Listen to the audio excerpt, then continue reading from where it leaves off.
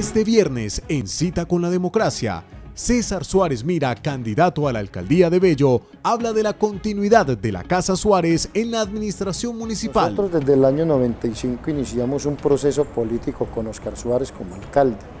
Yo creo que del 95 para acá no ha habido una administración tan importante, no ha habido un alcalde que haya hecho proyectos tan importantes como los que se hicieron en esta administración. El respaldo de nueve partidos políticos a su aspiración. Son 171 candidatos que están aportando, que están apoyando y que están creyendo en nuestro proyecto político. La presunta inhabilidad que cursaba en su contra. que tengan toda la tranquilidad que hasta el momento no tengo problemas para el próximo 25 de octubre ser elegido y por supuesto posesionarme el 1 de enero del 2016. Cita con la democracia este viernes 23 de octubre a partir de las 9 de la noche, solo por el canal TVN donde tú estás.